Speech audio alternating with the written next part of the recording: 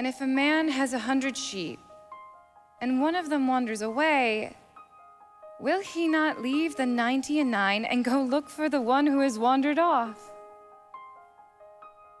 And when he finds the lost sheep, he comes home rejoicing.